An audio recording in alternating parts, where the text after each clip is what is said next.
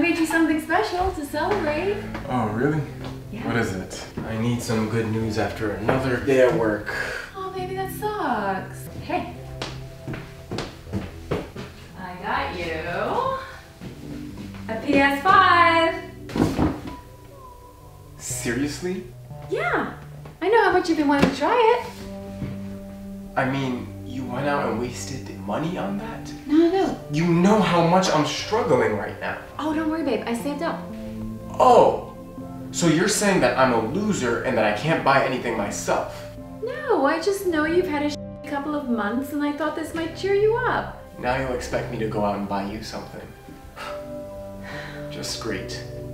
Way to try to make me feel better. I'm sorry, I guess I didn't think it through. Forget it. What was that news that you were gonna share? Oh, yeah. I I got promoted to CFO at my firm. I'm going to get a massive raise and we can finally talk about moving out of this place. Wow, I know. I'm so glad you're happy. I'm shocked. Me too, but I just couldn't wait to tell you.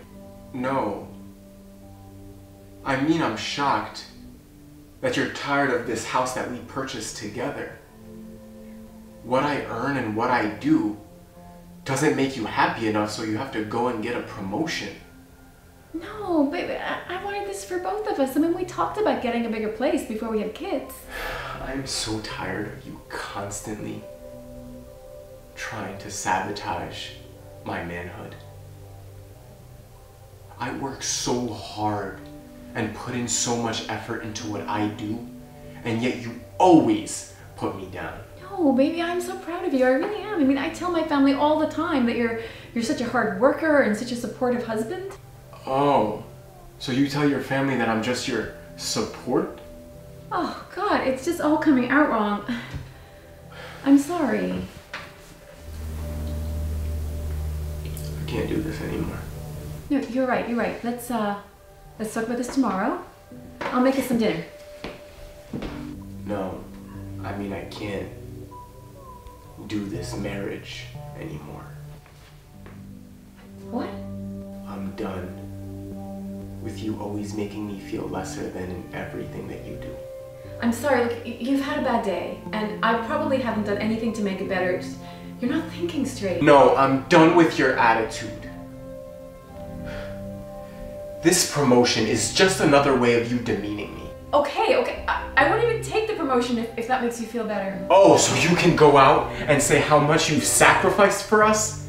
How much you've given up of your life for us? How much you hate this house? How you've purchased these ridiculous gifts for me?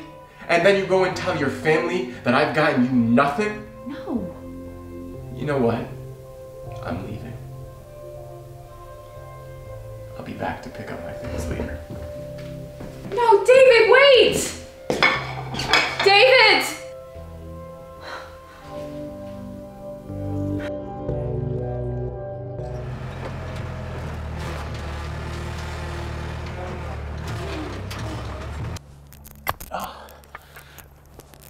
Oh, that was fun. Yeah, great people. They are great people. Yeah, let's come back again. Well, does it? Uh, Charlotte?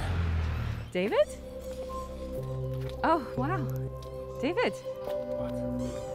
What? Oh, this is my husband Daniel. Um, we were just having lunch with a friend. What a coincidence. I work for her. Oh, really? oh, hey, sweetie. Uh, I'll meet you in the car. I I got to take this work Okay, call. sure. Okay, babe. Thank you. I'll be right there. All right. Nice meeting you. Wow. You look stunning as ever. Thank you. How have you been? Actually, Charlotte, I've been miserable since our divorce. I made some really bad choices with other people, and no other woman has been able to compare to what you've made me feel. David, I I don't know what to say. Say that you'll give this another chance. No. I'm sorry, it's too late. Look, I know that you hate me right now, but I can't believe that I let you walk out of my life. I don't hate you, David. If anything, I'm grateful to you. I wouldn't have taken that promotion. I, I wouldn't be where I am today. Well, I mean, you can still achieve all of those things. And it will be great with me coming in to live with you. It'll be a lot better than me living on my broken down car. David, I really do appreciate you not holding me back when you could have. But I'm with Daniel now, and he supports me in being the best version of me, and he loves me. And I love him and our kids. I really do wish the best for you, David. And I hope you get what you need.